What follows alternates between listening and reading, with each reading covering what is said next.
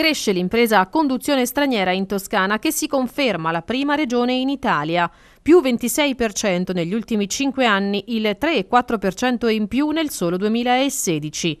Lo rileva Union Camere Toscana nell'ultimo report realizzato sulla base delle informazioni disponibili nel registro delle imprese delle Camere di Commercio.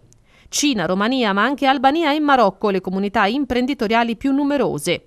Forte la concentrazione territoriale su Firenze e Prato, quasi la metà, 26.000. Arezzo è comunque nel podio. Un'impresa su 10 è straniera, per l'esattezza il 10,3% del totale, 3.902 su un complessivo di 37.385 aziende.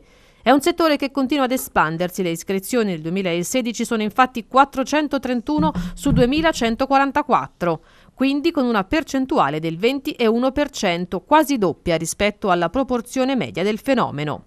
La vivacità imprenditoriale delle comunità straniere presenti sul territorio regionale, commenta il presidente di Union Camere Toscana Andrea Sereni, ha consentito di controbilanciare il calo generalizzato delle imprese a conduzione italiana che si è registrato nel corso degli ultimi anni, confermando come si tratti di una risorsa preziosa per l'economia dei nostri territori.